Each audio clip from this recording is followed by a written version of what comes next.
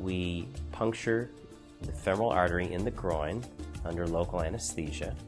And then under x ray guidance, we pass little tiny catheters through the bloodstream up into the carotid artery.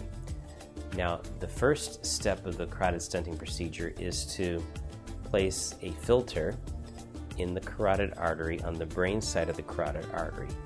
And that filter will still let blood continue to flow to the brain during the procedure, but if any particles break free during your intervention, they'll get trapped in the filter.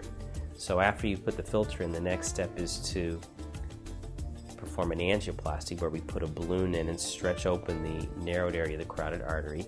And if any particles break free, they'll travel with the blood flow and get trapped in the filter, stopping before they reach the brain so you won't have a stroke.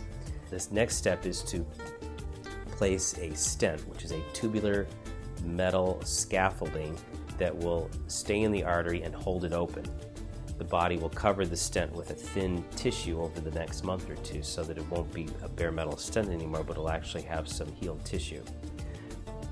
Following the stenting, we go in angioplasty with a larger diameter balloon and really stretch the stent open.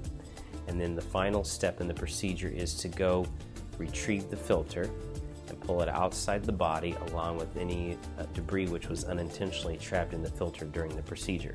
And then we'll just put some pressure on the femoral puncture site and observe the patient afterward.